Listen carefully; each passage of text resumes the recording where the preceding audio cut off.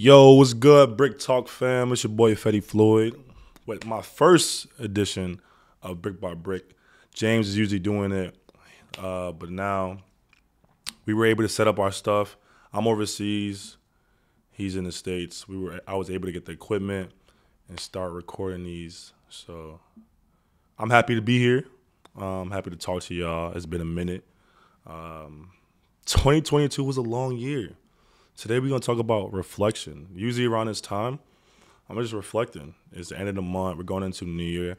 I try to think back of how I got to where I am right now, and I would say, for the most part, 2022 was a was a fun year. Like I had a lot of fun, but with that being said, behind the scenes, emotionally, I avoided so much within by just having fun.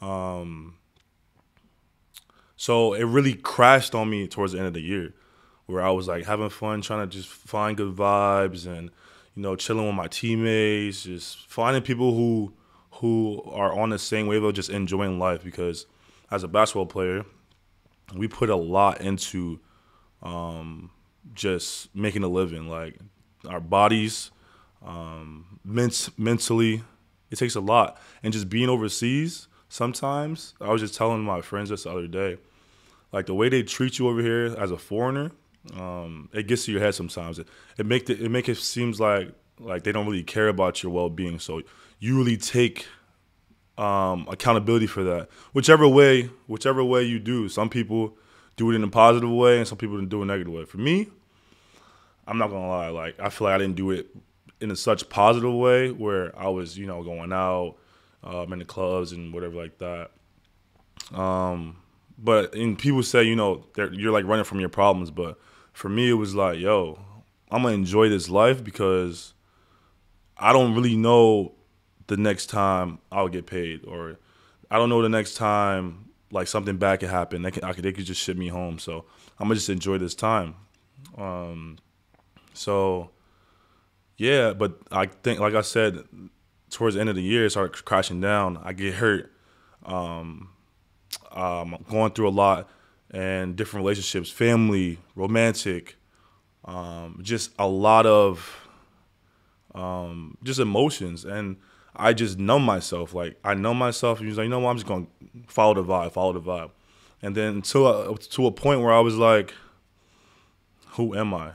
Like it's funny how things happen so gradually. Like you make certain decisions, and those decisions become so big and in a way certain things was controlling my life that I don't want to control my life like um basketball started controlling my life. Um, how people viewed me started controlling my life, and that's just not who I am. And I think that was really that when I really sat down and thought about it, I was like, yo, I feel like I've lost myself in this having fun and enjoying life because I'm more of a intentional, like what's next, like trying to make a mark on my life, making sure my life means something, uh, have value for something, and I just really turn to the more loose and fun vibe, which is cool. You gotta have balance, but I really put all my eggs in one basket and allowed that type of lifestyle to control me.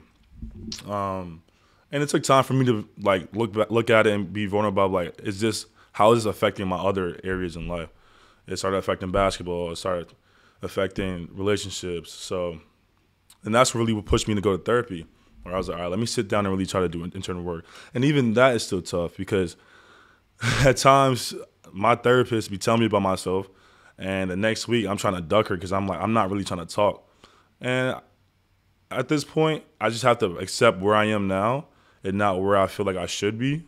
Um, so it's just, you know, day by day. But going into the new year, you got a couple, like a week or two left for the new year, and I'm just ready to start from scratch. Like, yes, I made my my mistakes, whatever like that, into 2022 in terms of mentally focus on other things outside of um, my purpose and stuff like that. I just have to get back to that. And going into New Year is a perfect time for me to do that. Um, I I feel like I survived 2022. I'm happy, like you know, I'm just I'm just happy to be alive. I'm happy to be healthy, um, and I just want to go forward and be different next year because the worst thing for me is being the same way. And maybe you go through these you go through these trials and errors. You lose your way sometimes, and I can honestly say I lost my way. Um, and I just want to be better. I want to be better for myself. I got a lot. I got away with a lot of stuff in 2022, and God, hey, I'm looking for my. I'm just I'm, I'm I'm bracing it now. I think me being hurt is kind of part of the karma. He wanted to sit me down and make me realize like basketball isn't the end all be all. Um, out here spending money in the clubs is not the end all be all. You're not gonna find what you're really searching for, and that can be um, anything. And that's a good segue into what I would talk about next on another big big big is the mind versus the heart because a lot of times we get stuck up here and forget about what's in here. But that's it for today, y'all. Appreciate y'all for tuning in. Thank y'all for supporting my journey, and I'm glad I'm helping people also be be able to be vulnerable with themselves. Um, that's what uh, Brick Talk's all about. That's what we're trying to do, just to spread light into mental health, mental health, and you know, finding ourselves and just becoming whole. But all right, y'all, peace. Off season. All men are created equal. Some just work harder during the off season. Let's work.